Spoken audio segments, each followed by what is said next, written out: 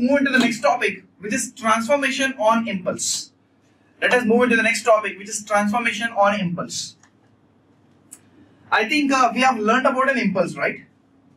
So when we discuss about a continuous time impulse, we have del of t is going to be infinity for t equal to 0 and it is equal to 0 for t not equal to 0. And we have also seen that integral minus infinity infinity del of t dt is equal to 1. Integral minus infinity infinity del of t dt is equal to 1. So this is what we called as a unit impulse signal. And we have represented it as something like this.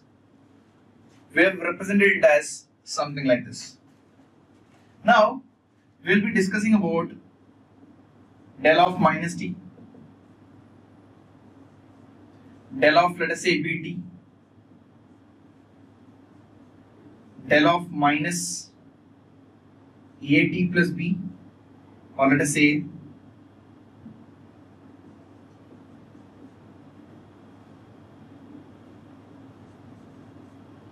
f of t multiplied by del of t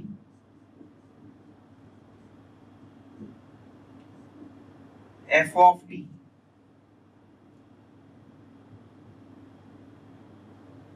f of t multiplied by del of t minus tau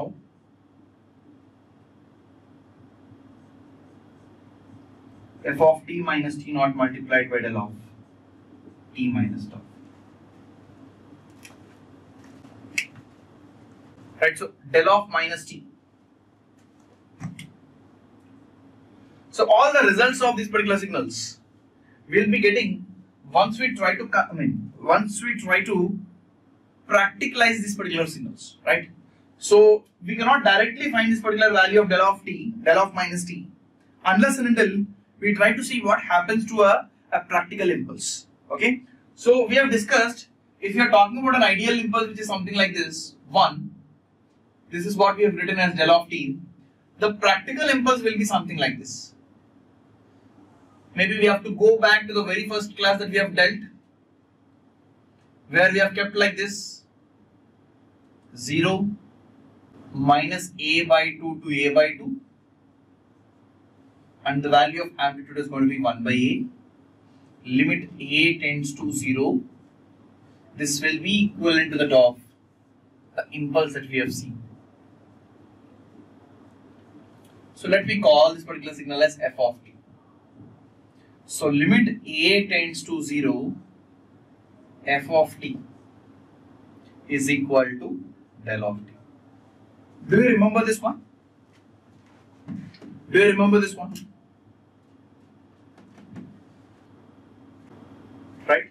So what I'll do is that let us try to apply the time reversal.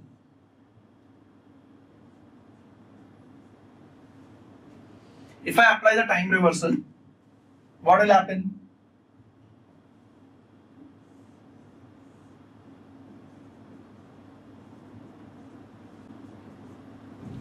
Because you have applied time reversal here, here also you are applying the time reversal. But what we have understood is that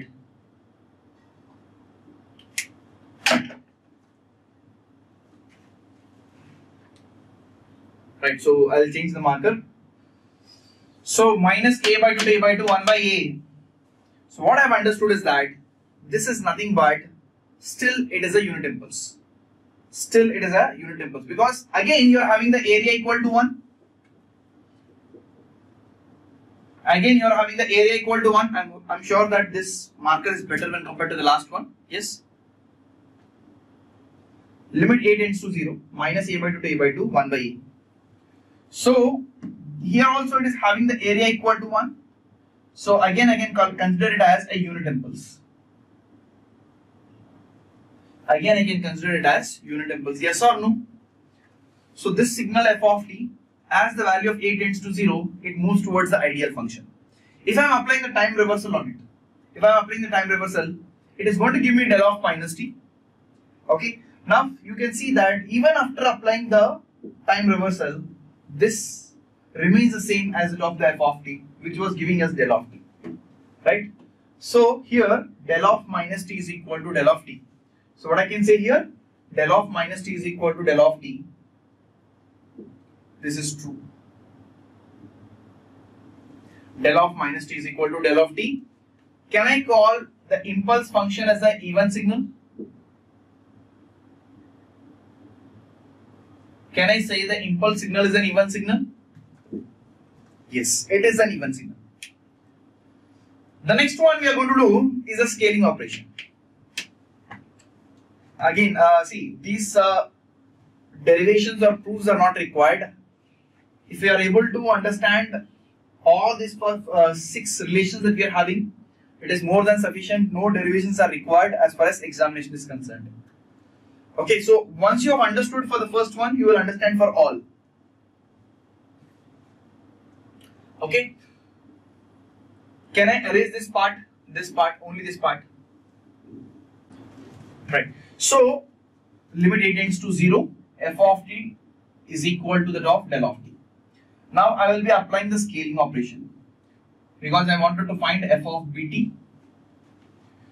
So, f of bt, if I do simply what I'll do, I just divide it by b. So if I divide it by b, it will be from minus a by 2b to the value of a by 2b. Yes or no?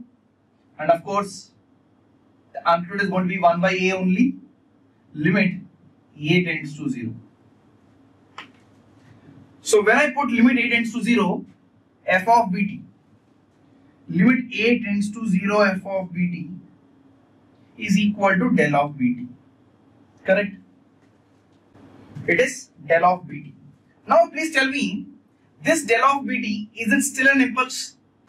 I can still call it as an impulse because simple reason that as the value of a tends to 0, this comes to a instant of 0 and at 0 I'm having some disturbance. There is something which is present at 0, right? So as the value of a tends to 0, this comes narrow, narrow, narrow, narrow, narrow and at t is equal to 0, I'll be having some impulse. So what is impulse? Simply impulse means that there is a disturbance. There is an uh, disturbance at an instant, we call it as an impulse. Okay, so it is still an impulse. It is still an impulse because of the reason that you are still having a disturbance at t is equal to 0. Yes or no? Are we not still having a disturbance at t equal to 0? We do have a disturbance at t is equal to 0. Correct? Okay, so this is an impulse. Is it a unit impulse? Can I call it as a unit impulse?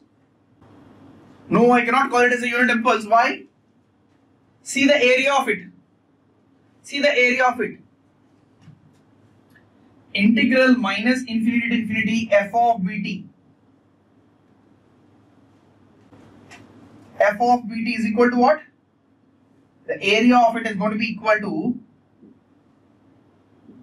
1 by b. Correct or not? This value becomes a by b into 1 by a. 1 by a multiplied by a by b is going to be equal to 1 by b. Correct? Yes or no? It is equal to 1 by b. What is the meaning of a into del of t? Please tell me one thing. What is the meaning of a into del of t? I think uh, again we have seen this in the first class.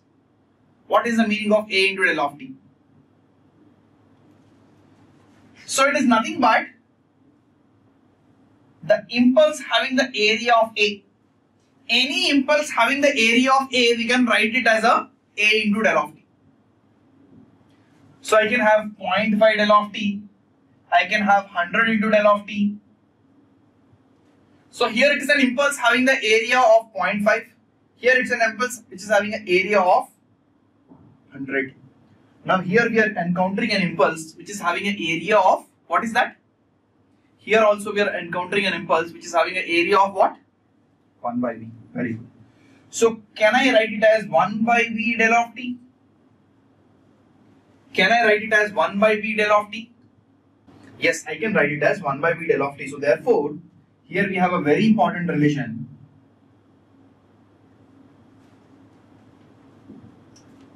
okay but you have to ensure that your value of b is a positive number we have to ensure that the value of b is a positive number it's very important why because if you put the value of b is equal to minus 1 if i put the value of b is equal to minus 1 then what will happen this becomes minus 1. But what we have seen here in the first case, what we have seen in the first case is that del of minus t is equal to del of t.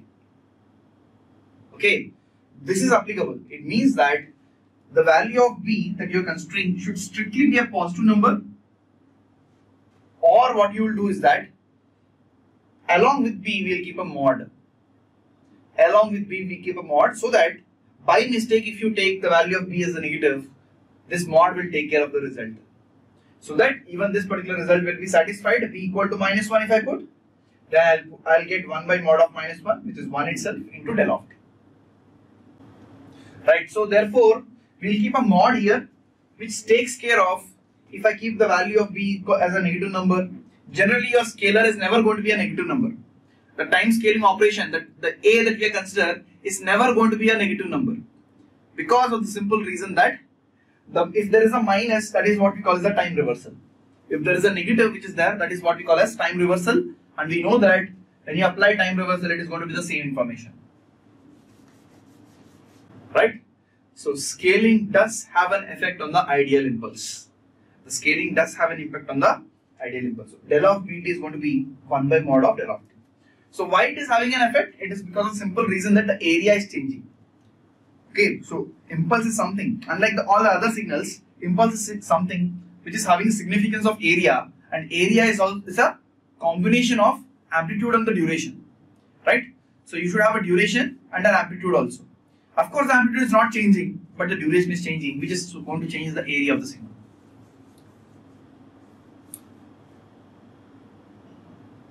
Will there be a signal, I mean, impulse with a negative amplitude? Of course, yes. We can have an impulse like this. We can have an impulse like this. But ideal impulse exists at equal to 0. Yes, absolutely correct. But you know, there is nothing called as ideal. There is nothing called as ideal. Okay. Why we are studying with the practical implication here is that practically you wanted to see what is happening actually if you are doing the shifting, if you are doing the scaling, if you are doing the reversal. That is what we are wanting to see. Okay, because we know mathematically and ideally we can define something, but practically it might not be possible. If it is not possible, we will try to move towards ideality. But we know what are the practical limitations. So that is why here also we are seeing with respect to practical only. Because with respect to ideal, no one understands because what you are having at t equal to 0 at t is equal to 0, you are just having an infinity. And you just know that the area is going to be 1. We cannot do much unless and until we try to see practically what is happening to it. Right? So, in the same way, okay, so f of bt, please understand the students, f of bt. So, once you get f of t, do the time scaling. What is the meaning of time scaling? Divide the time axis by b, which is the time scaling parameter. So when you divide the time axis by b, this is what we call as a time scale signal. And you know the area of it. What is the area of it? Area is nothing but length multiplied by breadth. Length multiplied by breadth. So length here is 1 by a. Breadth is nothing but what? The breadth is nothing but a by b. So 1 by a multiplied by a by b is going to be 1 by b. Okay? So I'm changing this.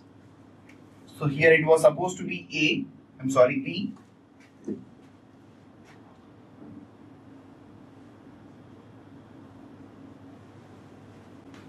So therefore the result that you're going to get is going to be 1 by B del of t. See what we are doing here is considering the scaling parameter as B. So when you consider the scaling parameter as B, then what we generally do in the time axis, again going back to the very first class, what we do to the time axis? Just we divide the time axis by the scaling parameter, right? Yes or no? This is what we have learned. See, these are the confusions you will get if we have not revised it correctly.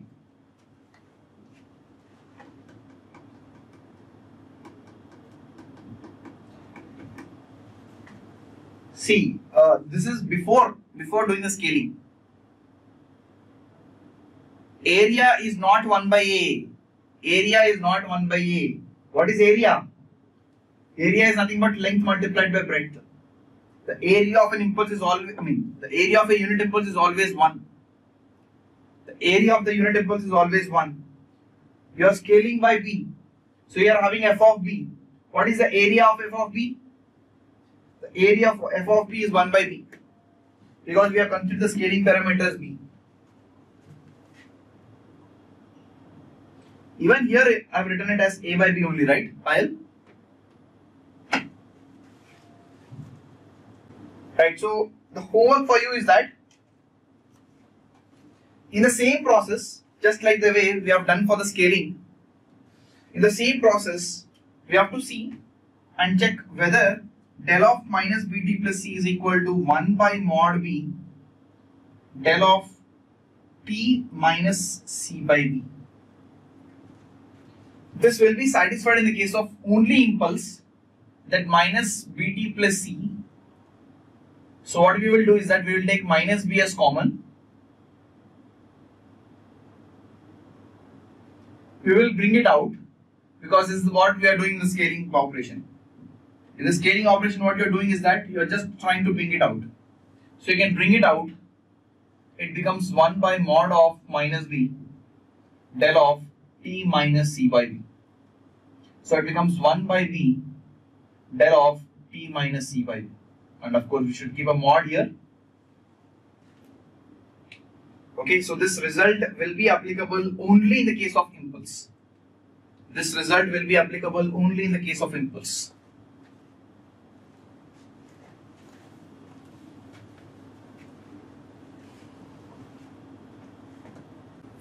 So I think we were discussing about the impulse.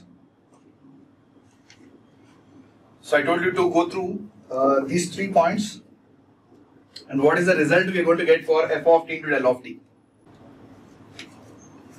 The actual results are f of 0 multiplied by del of t which is very very important in the examination point of view very important extremely important and here you'll get f of tau multiplied by del of t minus tau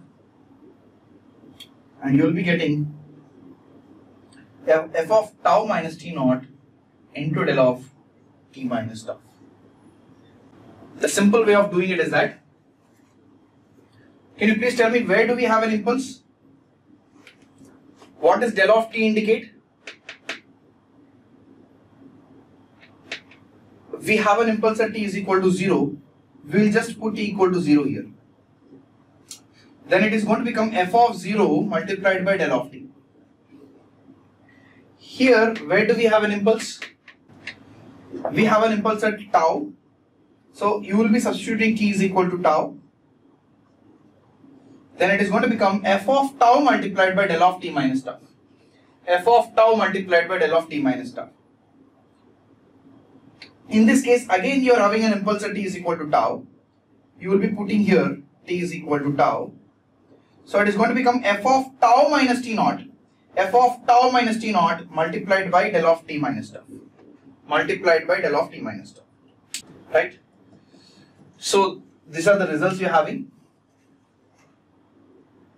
Okay, the simple thing is that wherever you are having an impulse, there you will get the sample of the signal. So here the signal is f of t.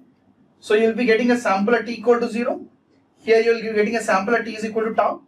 Here you will be getting a sample at t is equal to tau minus t naught. Tau minus t naught. And the uh, d result is very very important. The result at d is very important. So let me explain d, how we got this result so that you can generalize it to the remaining signals. Is that fine? I will be explaining d in detail so that you can generalize it to the remaining signals. Let us consider that there is a signal at a t is I mean there is a signal which is something like this. Minus 1 to 1 and the amplitude value at t is equal to 0 is 2 and this signal I am calling it as f of t right? Now I am multiplying f of t with what? I am multiplying f of t with del of t right? So if I multiply f of with f of t with del of t the result will be what? Multiplication the result will be if you not consider t equal to 0 okay if you are not considering t is equal to 0 for t greater than 0 here it is 0 For t greater than 0, the signal value is 0. So 0 multiplied by anything will be what? 0 multiplied by anything is going to be 0. Here also, for t less than 0, you don't have any signal. So here 0 multiplied by anything is going to be 0. So for t greater than 0 and t less than 0, in both the cases, the value will be 0. For t greater than 0 and t less than 0, in both the cases, the value is going to be 0. Now at t is equal to t is equal to 0, exactly at t equal to 0, exactly at t equal to 0, exactly at t is equal to 0, here you are having 2 and here you are having the area of 1. If 2 is multiplied with the area of 1, what is going to become? If 2 is going to be multiplied with the area of 1, the total area of the impulse is now going to become 2. Because it is still an impulse. You are having an impulse at t is equal to 0. Now to this impulse at t equal to 0, you are multiplying the sample value of 2. You are multiplying the sample value of 2. So this is now going to become the same impulse with the area of 2.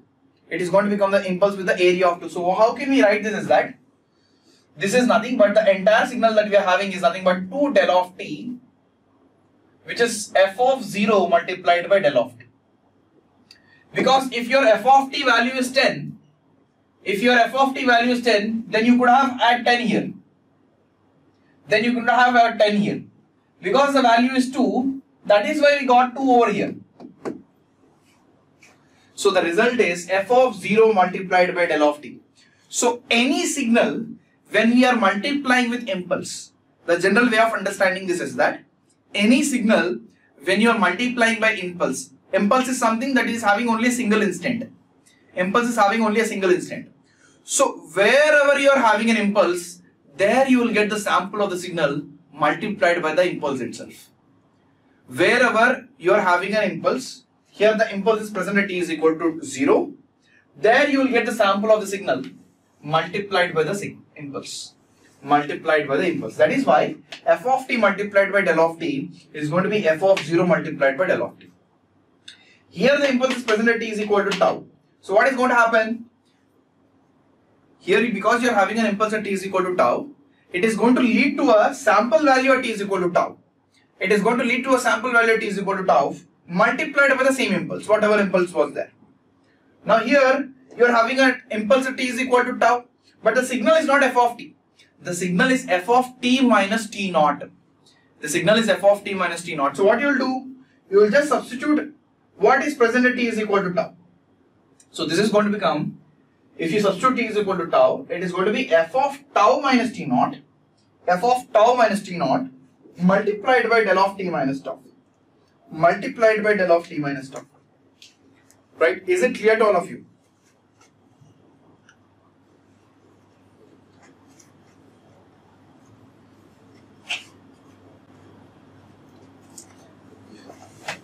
Del of minus 2t plus 1 is equal to del of, we'll take minus 2 as common, t minus 1 by 2 so minus 2 will come outside. It becomes 1 by mod of minus 2 del of t minus 1 by 2.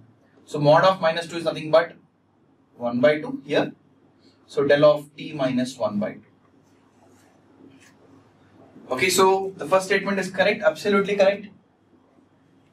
The second one del of minus t minus 1. So take minus as common, it becomes t plus 1 the minus comes outside 1 by mod of minus 1 del of t plus 1. So it is going to become del of t plus 1 itself. The last case is that, the third case is that minus of del of t, mm, del of minus of t plus 1, minus t plus 1. You will take minus as common, minus of t minus 1. Minus comes outside, 1 by mod of minus 1, del of t minus 1, which is going to be del of t minus 1 itself. The last one is del of minus t by 4. It will be equal to 1 by mod of minus 1 by 4 del of t which is going to be 4 into del of t. So as you can see Okay, so here if you have 2t minus 1, right? So in that case, only 2 comes outside, right? Okay, still the result will not change. So the first case is correct, the second case is correct. The third case, it is wrong. And the last case is also wrong. So next question. So integral minus infinity infinity sine of t minus pi by 3 into del of t dt. Okay, so if I put t equal to 0 here, so it becomes sine of minus pi by 3 which is a constant can come outside integral minus infinity infinity del of t dt. Okay, so I've put t equal to 0 here. So it becomes sine of minus pi by 3 integral minus infinity infinity del of t dt. What is the value of this? The area of the impulse, unit impulse is going to be equal to 1. So the answer is sine of minus pi by 3. So what is sine of minus pi by 3? Minus sine pi by 3 which is equal to minus root 3 by 2. Sine 60 degrees is going to be root 3 by 2. So there is a minus root 3 by 2.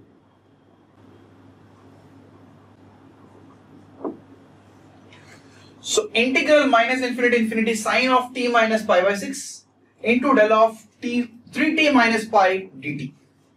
So let us take 3 as common. Del of 3t minus pi, let me take 3 as common. So 1 by 3 del of t minus pi by 3. Okay, so I can write like this. So 1 by 3 integral minus infinity infinity sine of t minus pi by 6 into del of t minus pi by 3. So the impulse is present at pi by 3. Let me put pi by 3 over here. So 1 by 3 integral minus infinity infinity sine of pi by 3 minus pi by 6 is pi by 6 itself. Sine of, I mean, del of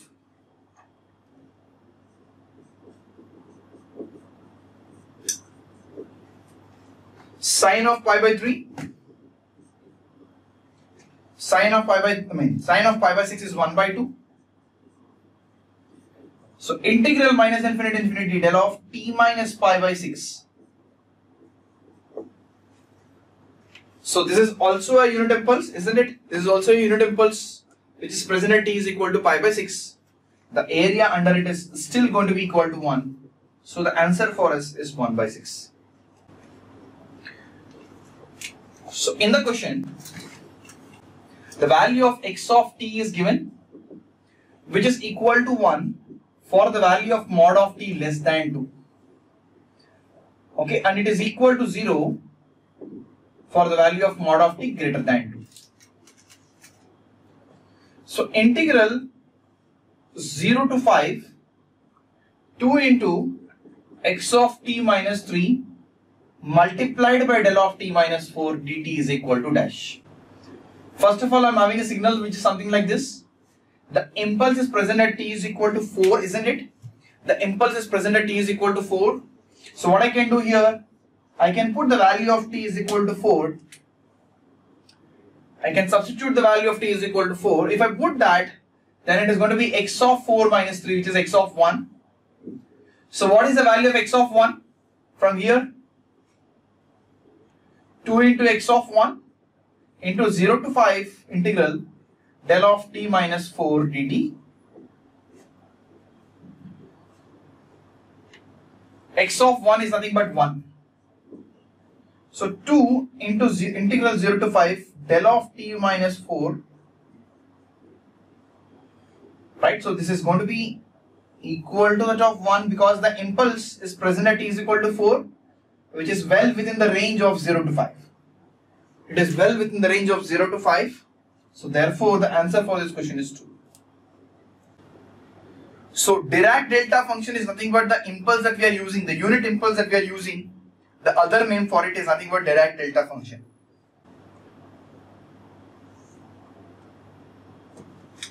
See here, x of one value is 1 so that we have substituted here and here if you see the impulse is present at t is equal to 4 the impulse is present at t is equal to 4 so it is well within the range of 0 to 5 right if you are having an impulse at if you are having a unit impulse at t is equal to 4 and you are integrating from 0 to 5 the area is still 1 the area is still 1 so therefore, here the area of this particular impulse is 1 multiplied by 2. Totally it's going to be equal to 2. Yes, of course, the question which is here is something but a, a direct formula for impulse, right? We know that it's nothing but t at t equal to 0 it is infinity and it is equal to 0 otherwise. And the area of the impulse is going to be equal to 1 right? So if you just directly click on option B, because option B has one part of it. Option B is something which is having a, a single part of it, which is not incorrect. It is correct, but it is not complete. The problem with B is that it is correct, but it is not complete. Whereas option D is correct and complete. So when you have two such options, then the preference has to always go for that particular option which is complete. So with this topic, we complete the first chapter which is Introduction to Signals and Systems.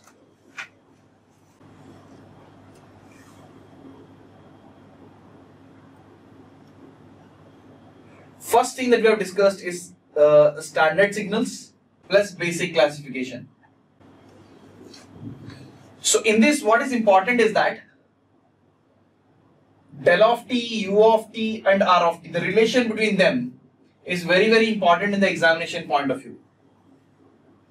The relation between del of t, u of t and r of t is very important in the examination point of view. This is very important. Basic classification not important.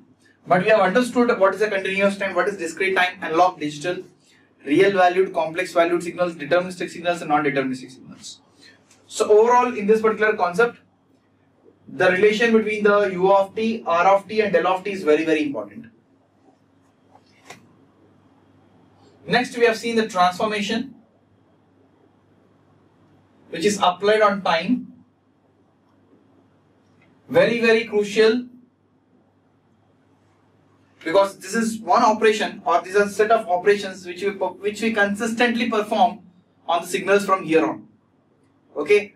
So time shifting time scaling and time reversal is very very important operation. Especially to be having a very good clarity regarding whenever we are doing the three operations on a single signal shifting scaling and reversal so we have seen a danger that whenever you are doing the shifting after scaling or after reversal or after both in that particular case you will be having some problem you will be having some problem which we have covered in this particular case. Okay. It is important not, not that the questions are directly going to come from this, but it's a very, very fundamental topic for us. And then we have focused on system properties, which we found out important for the exam. Important for the test. Next classification of signals in which we have seen even, odd, neither. We have seen periodic, non-periodic. We have also seen energy and power. These two parts are very important in the examination point of view. Whereas even and odd nature will be applicable when we learn about Fourier series and Fourier transform. There we will be using the concept of even and odd. And lastly, we have covered about the transformation on impulse.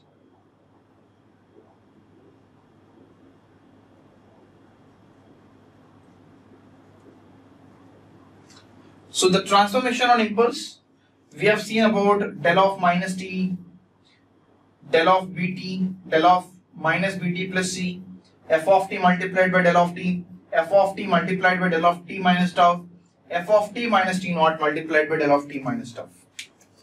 So f of t multiplied by del of t is more fundamental and it's very important in the examination point of view. We'll be seeing that in the next chapter also we'll be using this particular concept.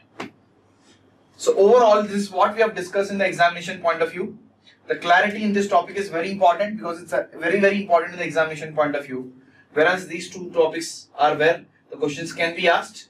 The transformation on impulse is also a very simple topic and the question can be expected from this particular topic. So this is the overall picture of what we have covered till now. And the first chapter is important in a way that it is going to give us a, quite a few basics that we generally miss in bachelor's, right? So that is something that we have learned here and going ahead we will be applying all these basics in the remaining chapters. So in this particular chapter, one thing I can understand is that these two parts, this part and this part are very important and the relation that we have between these three signals are very important. So in my short notes, the priority of writing 1, 2, uh, of course 3 4 is very high okay especially the formulas that we have learned. Here what is the relation? It's a single liner. The del of t u of t and r of t the relation it's a single liner. This is anyway this is only a basic concept. But what i'll be writing here is that what is advancing what is delay? Okay what is compression what is expansion? This information will, should come here. It will take maybe maximum it is going to take a half page. System properties I'll be writing about what is invertibility, what is uh, static dynamic, what is stability causality, uh, what is linear non-linear, okay, what is uh, causal non-causal, what is time invariant, time variant. Okay, I'll try to write in a quick way. Okay, so what they mean exactly and what is the approach. Just like the way the approach in the case of invertible systems is that we should try to look for two different inputs for which the output is same. In the case of stability, I'll be looking for any particular bounded input which gives me the unbounded output so that I can declare my system to be unstable. Similarly, in the case of uh, the causality, we look for that particular instant where it depends on the future value of the input. So here I'll be just writing and of course, time invariant, time variant, I have given some very important things in time invariant, time variant. That whenever you're multiplying a function of time with of input, it's going to be time variant. Time scaling operation is a time variant operation. Time shifting operation is a time invariant operation. Time reversal operation, again it's a time variant operation. Simple integrator, it's an example of a, a time invariant operation. But an integrator with shift, I mean, an integrator with scaling and reversal, it becomes time variant. So those things you have covered, which have to clearly come in your short notes. Next, when it comes to the of even odd, I'll just simply write what is even, what is odd. X of minus t is equal to x of t, x of minus t is equal to minus of x of t. And of course, neither is nothing but which is not satisfying both the criterias. Okay, next one is periodic and non-periodic.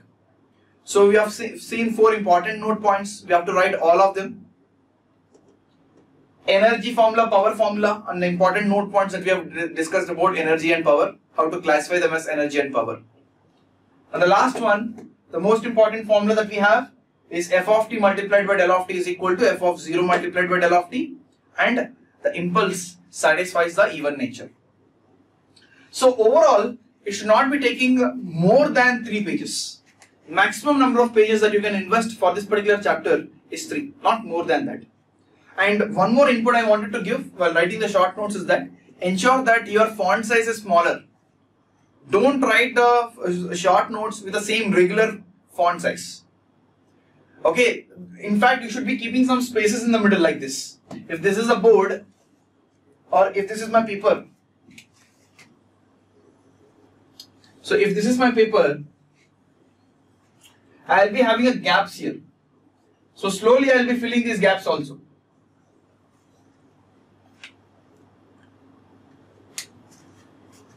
Okay, so ensure that uh, you are following this. First of all, we should have a clarity about what is important and ensuring that all the important concepts from there the questions are consistently coming. You write all of them and then try, you try to add a few things which comes to your mind and you think that it is important in these particular spaces. So ultimately you can reduce the number of pages. Once you reduce the number of pages, it is easy for you to revise the particular short notes.